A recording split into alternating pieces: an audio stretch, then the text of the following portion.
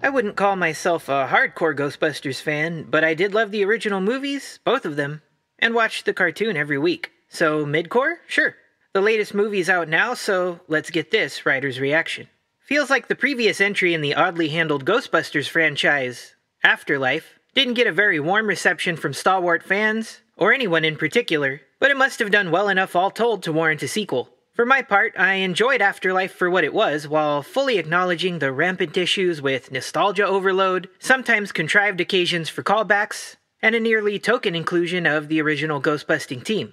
What the film did right for me was achieving a cozy vibe that, while not particularly derived from the original films, felt appropriate for the Ghostbusters world. The creep factor was solid enough, due mostly to drawing the characters through the mystery of their benign farmhouse haunting. The theme of intergenerational connection also worked for me, culminating in a sweet moment between grandfather and granddaughter that I thought worked well as a tribute to the lost but beloved Harold Ramis as Egon. While the comedy was lacking in comparison to The Lightning in a Bottle that was the first Ghostbusters movie, and to a lesser extent the second, Afterlife was cute enough, and Phoebe's character in particular charming enough, that the very late sequel was able to become its own thing. So, all that said, plot issues and various flaws aside, Afterlife turned out to be a movie that I think about every once in a while and can just throw on for kicks. Frozen Empire, unfortunately, doesn't quite hit that same spot.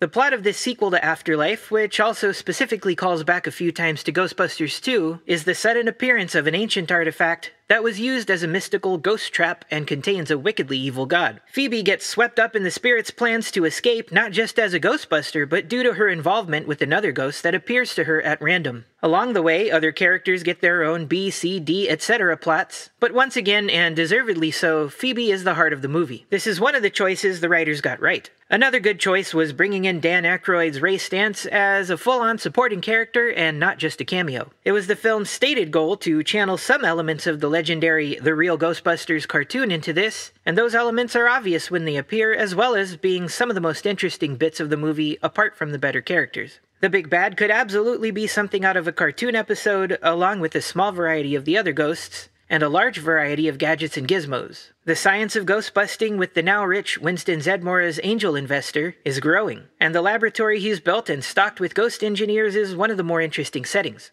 Overall, it's a pretty basic plot, but not a bad one at its core, with the threat of a very powerful monster, his accidental release, and bracing to resist his attack while planning to capture him once again. The main thing that gets in the way here is that there are too many characters. If we had cut perhaps half an hour off the movie, that would go a long way toward fixing issues with the plot's pace, but a tighter rewrite would be preferable. I'll get to that later. As is, the plot just never gains a real sense of momentum, and the film feels like something that's earnest, has heart, but just doesn't have enough energy to grab you. Again, there are way too many Ghostbusters in this movie. Phoebe's family are Ghostbusters. Winston has a crew, including one of the characters from Afterlife. The three remaining original Busters are here too, and even Janine straps on a proton blaster. But hey, where's Lewis? It's too much. Then we get mini arcs for what feels like almost all of them, none of which are particularly compelling or complete, and which actually steal much needed screen time from Phoebe's, spoiler, friendship with a ghost.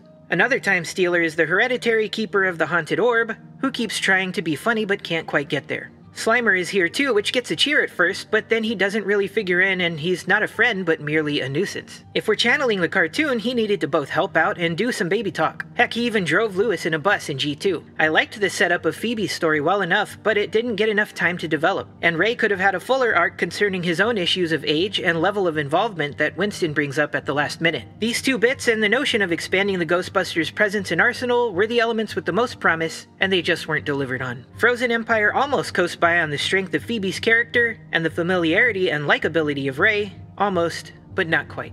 The writing, unfortunately, feels like a well intentioned and optimistic film school fan fiction script, with way too many kitchen sinks thrown in for its own good. The attempts at dialing up the comedy just don't work because every joke is the same type of 2010s humor, which no one in particular thinks is funny now and also didn't then. The cozy vibe of Afterlife was a much better call, but it might not have been possible to keep that with this story being set in New York City. The plot is cluttered, the characters aren't given the time they need to get what the story wants out of them, and there's a strong sense that someone along the way said, Yes, you can channel the cartoon, but only this much, while holding up their thumb and forefinger to indicate something teeny tiny. That said, you can really feel Aykroyd's influence on the world of the movie. He still wants to expand the Ghostbusters universe into something much larger, and I get the sense that if he could make something more like his original Ghostbusters script, where busting makes us feel good in space, he would. Maybe these movies will keep doing well enough for him to get there. Who knows? My fix for this movie?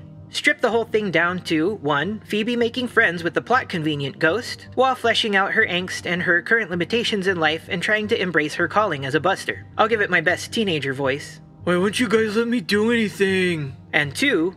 Ray dealing with the fact he just can't bust anymore the way he used to, and maybe it's not so good that he's spending all his time shopping around for more wicked artifacts. It would still be Winston's job to help bring that to light. Make these two the core of the story, reduce all the side plots, cut the one about the completely unnecessary Firemaster, and let the side characters just be there for the fun scenes and incidental support. Make Slimer the troublesome friend he was in the cartoon, including a clash with his frenemy Venkman, and enjoy the bonus effect of actually making the kids and some adults in the audience laugh at his comic relief. I mean, he didn't even cross paths with Peter this time, and I don't know why. So, did I like the movie? Sort of. I appreciated everything that felt sufficiently Ghostbustery. I didn't notice anything particularly preachy, and I fully accept Phoebe as the head of the next generation should they choose to continue following her. But overall, it was pretty mid, which made it easy for me to go more hard mode in this review than I did in my last one. Some people commented on my Rebel Moon Rider reaction that I was going too easy on the movie. Fair. I was writing from a point of view of insisting on having fun with it and not taking no for an answer. For all its hundreds of flaws, it was still generally more engaging than this movie by sheer virtue of energy. So I guess it's time to recharge those proton packs. If you like what I have to say, I got books where I say a lot more words. Check out Heroes Metal, a pulpy fantasy series where heroic former mercenaries get the band back together to fight a monstrous invasion from the Hollow Earth. Thanks a lot for watching. Don't forget to like, subscribe, hit the bell, all that good stuff. Go be good to each other, and until next time. We came, we saw, we Recorded a video. See it?